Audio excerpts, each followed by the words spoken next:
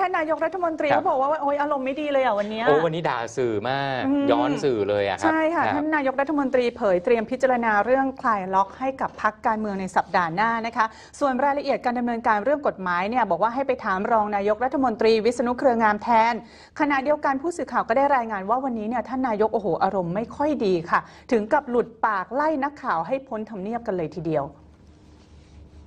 พลเอกประยุทธ์จันโอชานายกรัฐมนตรีเปิดเผยว่าจะมีการพิจารณาในสัปดาห์หน้านะคะในการประชุมคณะรัฐมนตรี เพื่อคลายล็อกให้กับพรรคการเมืองสามารถทำกิจกรรมได้ ส่วนรายละเอียดให้สอบถามจากนายวิษณุเครืองาม รองนายกรัฐมนตรีฝ่ายกฎหมาย เพราะได้มอบหมายให้ไปพิจารณาว่าติดขัดอะไรบ้าง เพื่อนำเสนอต่อที่ประชุม ซึ่งหากที่ประชุมเห็นชอบก็จะเป็นไปตามนั้น ขออย่ามาถามตนทุกเรื่อง เพราะว่าบางเรื่องเนี่ยก็ตอบไม่ได้ ส่วนปัญหาที่เกี่ยวข้องกับการเลือกตั้ง ไม่ใช่ออกกฎหมายมาแล้วผิด แต่มุ่งหวังให้กฎหมายยืดยาวและยั่งยืน เพื่อให้เกิดการปฏิรูปทางการเมือง ซึ่งเมื่อออกกฎหมายมาแล้วก็มีปัญหาอีก จึงต้องถามการเมืองว่าอยากปฏิรูปหรือไม่ ถ้าไม่ทำก็จะกลับมาที่เดิมอีก ไม่ใช่เมื่อรัฐบาลจะปฏิรูปแต่กลับไม่ยอมกัน แล้วจะให้ทำอย่างไร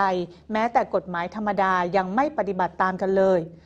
ผู้สื่อข่าวรายงานว่าภายหลังนายกรัฐมนตรีได้ให้สัมภาษณ์สื่อมวลชนนะคะ ที่จุดแถลงข่าวเสร็จ ได้เดินออกจากวงสัมภาษณ์ แล้วก็พูดกับผู้สื่อข่าวว่าทำไมไม่ถามประเด็นเศรษฐกิจบ้าง สนใจกันบ้างไหมการค้าการพาณิชย์ให้ถามกันบ้าง เพราะการเมืองไม่ได้ทำให้ทุกอย่างดีขึ้นทั้งหมด จากนั้นผู้สื่อข่าวคนหนึ่งได้ตอบว่าตัวเลขเศรษฐกิจดีอยู่แล้ว และมีนักข่าวสายเศรษฐกิจเป็นคนตามอยู่พลเอกประยุทธ์จึงพูดด้วยน้ำเสียงเรียบๆว่า เธออย่ามาต่อปากต่อคำกับฉัน ผู้สื่อข่าวจึงตอบว่าต่อปากต่อคำก็ไม่ได้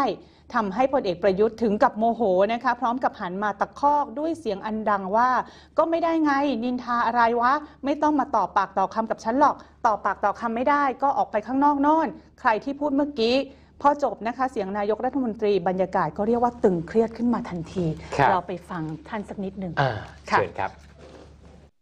ถามสิการค้าพาณิชย์ถามสิ การเมืองไม่ได้ทำให้ทุกอย่างดีขึ้นหมดหรอกก็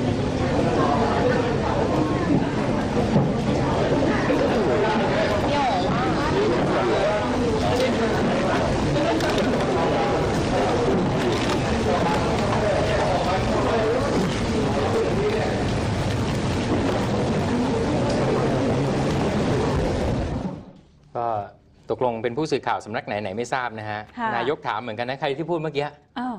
คือจริงๆ เข้าใจว่าตอนแรกที่นักข่าวพูดบอกว่าต่อปากต่อคำก็ไม่ได้อาจจะเป็นอืม การแซวแบบหยอกท่านอะไรอย่างเงี้ยต่อปากต่อคำก็ไม่ได้เอออะไรพอดีท่านอารมณ์ไม่ดีนะ เออวันนี้ดูเหมือนอารมณ์ไม่ดีนะฮะ ค่ะ ก็ไปดูต่อนะฮะ ที่เรื่องของการเมืองกันบ้างคุณธนาธรจึงรุ่งเรืองกิจครับ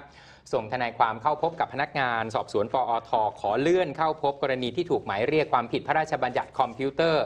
ไปเป็น 17 กันยายนนะครับ โดยอ้างว่าติดภารกิจครับ เป็นความคืบหน้าคดีที่พันเอกบุรินทองประภัยนายทหารปฏิบัติการประจำกองบัญชาการกองทัพบบก ปฏิบัติหน้าที่ฝ่ายกฎหมายของคอสช เข้าแจ้งความต่อพนักงานสอบสวน บกปอท ให้ดำเนินคดีกับนายธนาธรจึงรุ่งเรืองกิจ นายจารุวรรณสรันเกต และนายไกลก้องไวยทยการว่าที่กรรมการบริหารพักอนาคตใหม่ ซึ่งเป็นเจ้าของเพจ หรือผู้ดูแลเพจ อนาคตใหม่กับพวก และเพจธนาธรจึงรุ่งเรืองกิจกับพวก ในความผิดตามพระราชบัญญัติคอมพิวเตอร์มาตรา 14 วงเล็บ 2นำเข้าข้อมูลเท็จ อันน่าจะเกิดความเสียหายต่อความมั่นคงของประเทศ หรือสร้างความตื่นตระหนกในหมู่ประชาชน จากกรณี Facebook Live รายการเมื่อคืนวันศุกร์ที่ 29 มิถุนายนที่ผ่านมา ในประเด็นการดูดสอสอ